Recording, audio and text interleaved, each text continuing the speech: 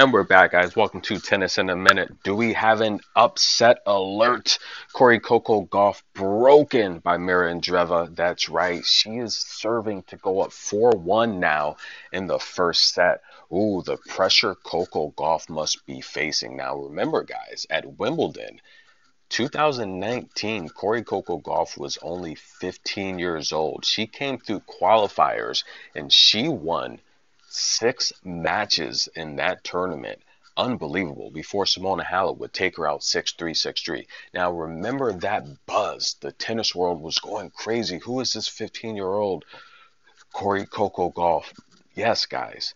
She was the talk of the tennis world, but she would lose to Simona Halep 6 3 6 3. And just being young with nothing to lose there's no pressure on you. I think Dasha said it best. Mirra right now is playing with no pressure. However, she felt the pressure here from the return service game of Cori Coco Gauff. That's right. Cori would break back. Now, we all know Cori wants to get to her backhand. I think Mirra early on in this match, she's doing a good job of slowing the pace of the match. She's taking her time in between points. And Coco wants to play fast. She wants to speed opponents up. She wants to take the ball out of the air, use her amazing footwork to keep opponents behind the rally. Mirra's slowing things down because her favorite shots are backhand down the line. She wants to set, get planted, and hit a powerful shot.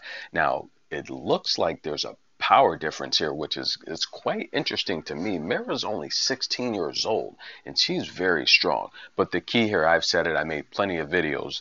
Coco's forehand facing north, this is the worst side for her when she's defending it's not a good side uh, because that right forehand facing north, she can she can miss, right? It's tough to find the sweet spot of the racket because she plays so fast. She's just literally trying to go through the ball full speed. Uh, good comparison any fast players out there that are really fast, you have a wide open layup on the basketball court. Let's say you get a pass or a still, you're going in for the layup.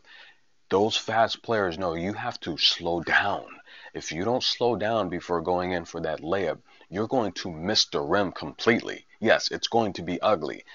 Corey Coco Gauff has to make adjustments with that forehand. She's so fast, she's got to slow down and take it. I think that's a coaching tip I would give her. Guys, we're back on serve in the first set. Get your popcorn. This is the